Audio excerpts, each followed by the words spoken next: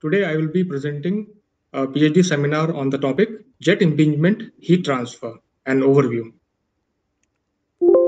Uh, the outline of my presentation is as follows. Uh, I will uh, go through the through the presentation in the following subheadings: introduction and motivation. What are the different types of jets which are available, and the literature review which I have carried out, followed by the research gaps which I have identified, the objective of the the review and the research which is to be done, methodology which are uh, which can be followed or the possible methodologies, followed by what are the salient heat transfer parameters which can be utilized in the research, then the result and discussion, conclusions and references. So the motivation uh, behind this uh, topic is basically, as we all know that heat transfer uh, can be achieved by either by conduction, convection, or radiation. In the case of conduction, heat transfer is primarily governed by something known as Fourier's law, where the heat transfer depends on the type of the material or the thickness of the material, which is also termed as thermal resistance. So in most of the applications, wherever uh, the heat transfer is to be enhanced, because we see most of the processing application or electrical or mechanical or other applications, the objective is to uh, uh, transfer the heat or enhance the heat transfer rate, and that too in a uh, very less interval of time. Whereas in case of radiation, we see the heat transfer rate is governed by known as something known as Stefan-Boltzmann law, where the heat transfer rate depends on the temperature of the surface and that of the surrounding. And since the uh, heat transfer rate in radiation is proportional to the fourth power of temperature, so that's why it may not not be of great use at a, uh, at a temperature somewhere uh, less, less, than 1000 degrees Celsius. Now comes uh, we um, uh, the whole motivation or the idea behind taking this topic is uh, the something known as Newton's law of cooling, that is governed by this expression.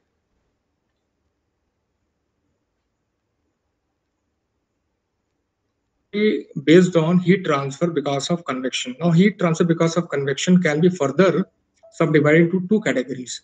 One is uh, natural convection, other one is forced convection. In natural convection, since the surrounding fluid, uh, uh, which may be uh, in the vicinity of any heat transfer device may not be at a very low temperature. So that may not be of very great use. Whereas in case of forced convection, uh, the heat transfer enhancement can be done. But uh, this, as you can see, this heat transfer enhancement, that is our objective is to increase Q, which is heat. Uh, it depends on uh, this parameter H, which is termed as heat transfer uh, coefficient and uh, because in most of the electronics or other devices area is constant. Area depends on strength parameter or design parameter. And temperature difference is also not in our control. So the only parameter which can be uh, which uh, which can be um, governed which can be varied is heat transfer coefficient. So now this there are various ways by which heat transfer coefficient can be enhanced. So one of the method is impinging jet which is widely used uh, since 1960 and still a lot of advances are being carried out uh, on this impinging jet. So it's simply a method of achieving high heat transfer coefficient uh, with a uh, small amount of surface area is uh, small, like we can see various our electronic equipments are of small size.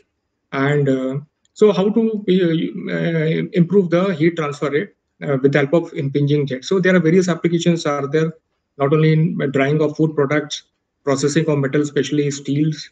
Then uh, the one of the major area where this um, heat imping, this cooling, this cooling by impinging jet is carried out is uh, cooling of gas turbine blades. And we know that if we are able to increase the uh, temperature of the gases entering the turbine, then uh, efficiency of the uh, cycle can be improved and that is only possible if we are able to cool the plates so moving ahead uh, to this uh, graph which figure which tells us about uh, various region uh, impinging jet region So I will also like to tell that in this schematic, uh, this portion is termed as a nozzle. This um, normally represent uh, the length of the nozzle. Then we have the, uh, depending on the cross section, we have like diameter or if it is slot nozzle, then width.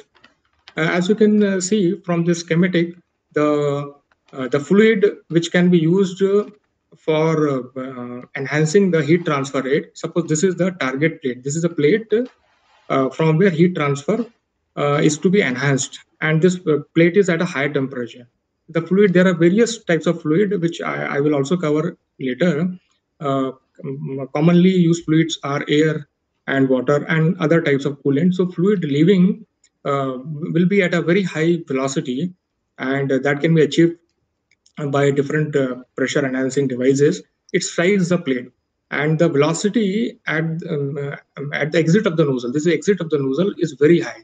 By the time it strikes the plate, this portion is termed as the stagnation region, where the velocity will become zero, and you can see the flow of the fluid how it is happening. Uh, first, it will be uh, it will move along the plate, and followed by then it will move away from the plate. But this uh, schematic is also uh, uh, taking into consideration the multiple jets. I am explaining for single jet, but multiple jets can also be used. Now there are there can different types of jets can be used. Basically, uh, this uh, jet is another word for nozzle, and uh, a nozzle is um, a device, energy conversion device, which transforms uh, this pressure energy to kinetic energy. So here, uh, as you can see in alpha, uh, this is free surface jet, where the velocity of the jet is is somewhere less than um, 300 meter per second. When the velocity is very high, then it's termed as plunging jet, where the jet after striking will move away from the plate. Then we have a submerged jet where the fluid will remain in contact with the uh, target plate under consideration, followed by confined jet where the fluid is given a particular direction. The, the, there is a boundary which does not allow the fluid to move abruptly. And then we have a wall jet where fluid is moving parallel to the uh, plate. So here direction will be little different. Uh, some of the papers, uh, since vast papers are available, so uh, in a short uh, interval of time, in last two, three months, I'd gone through some of the papers and I've taken a specific case for this review, that is a stationary surface. The plate under consideration can be stationary also, it can be moving also.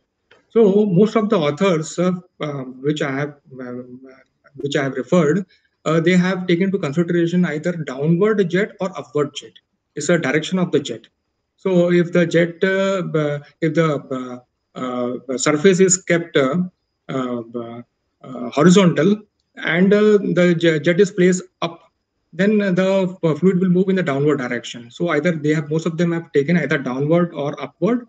And the test specimen is more or less standard thickness varying from 0.25 mm to you know 20 mm also, and uh, stainless steel uh, foil is taken into consideration. Now, uh, the the data with which which the variation has been carried out or experiment has been carried out is Reynolds number and the type of the fluid under consideration. And uh, we can see that uh, in some of the cases, Nusselt number which is one of the important parameter uh, which uh, uh, measures the heat transfer rate, has increased considerably by increasing the parameter known as Z by D, which I will introduce later. And the, the variation of the Reynolds number has been carried out in almost all the research which which I had research papers which I had gone through. Now, the gaps uh, identified in the literature review is basically uh, the uh, like most of the research which has been carried out is on the smooth surface.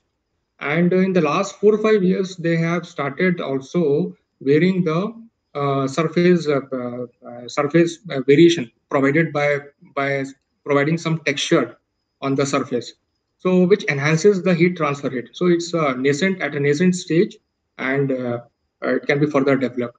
Then the some of the researchers they have also started using nano fluid uh, by mixing uh, water with uh, some refrigerant or other types of fluid to enhance the heat transfer rate. And now the limited literature is also available, is available on unsteady flow and when the target plate is moved, like the plate under consideration, which is to be uh, uh, where heat transfer is to be enhanced. Plate can also be moved, but again, limited literature is available where further uh, study can be carried out.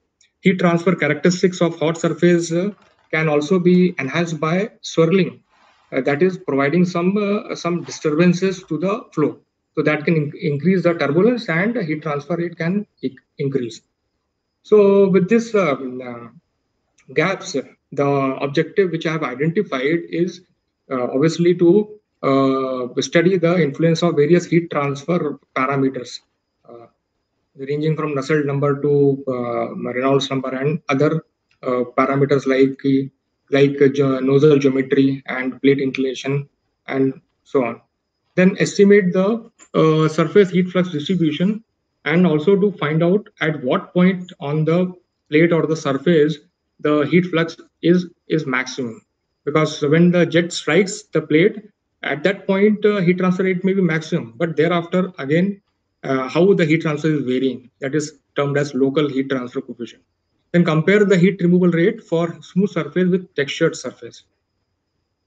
Because already a lot of data is already available on smooth surface, but uh, textured surface may still, that comparison is to be made. So the methodology for the research can be uh, can be uh, either experimental based or numerical. A lot of uh, research is be, had been done, carried out numerically and analytically also. empirical relations have been developed. So in experimental um,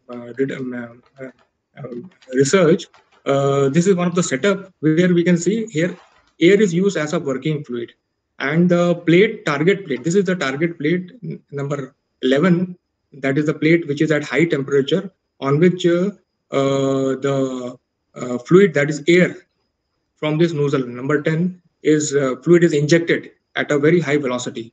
And uh, the variation in the temperature can be recorded with the help of uh, infrared cameras and which can be further tabulated. So here the common devices are which can be used uh, if air is used as working fluid is compressor receiver and followed by pressure controlling devices.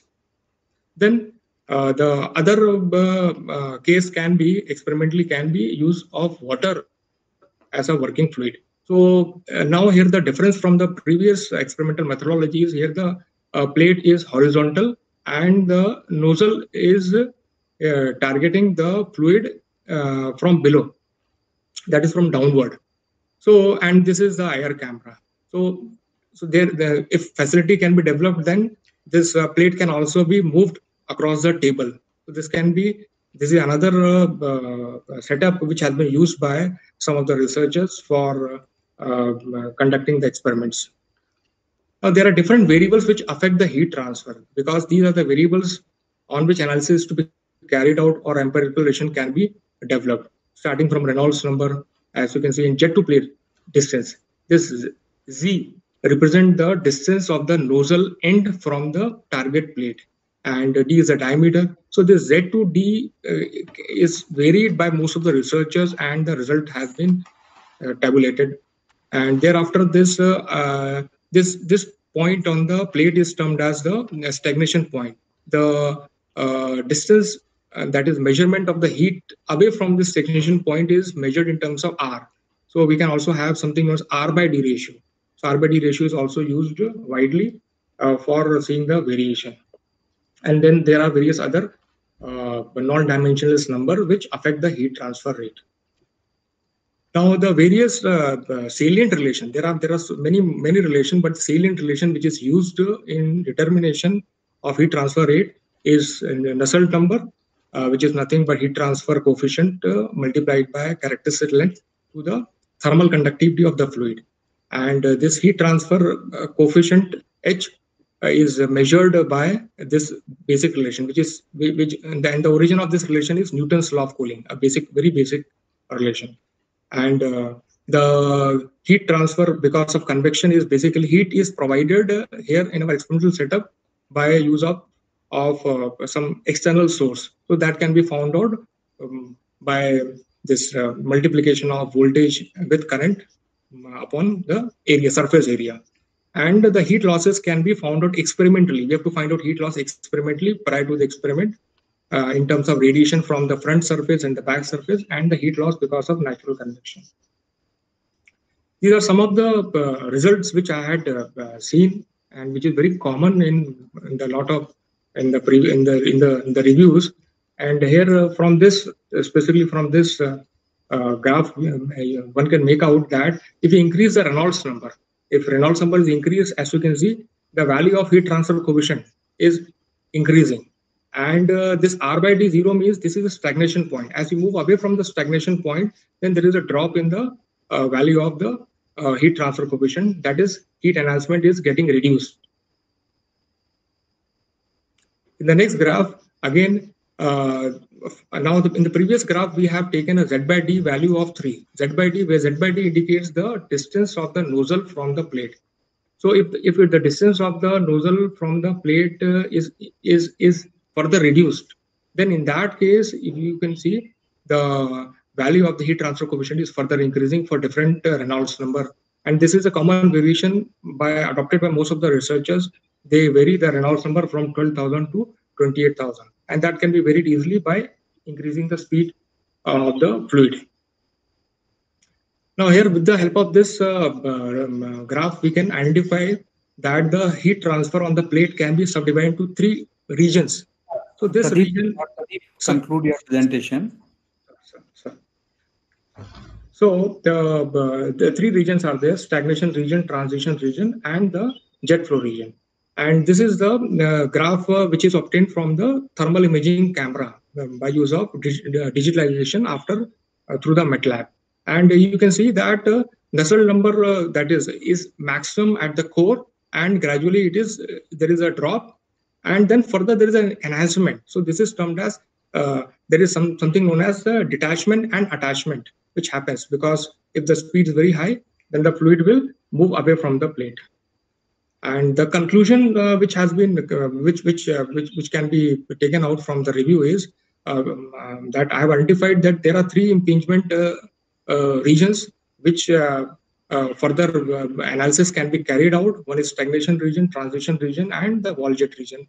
And uh, with increase in the Nusselt number and by varying the Z by D value, the heat transfer can be enhanced.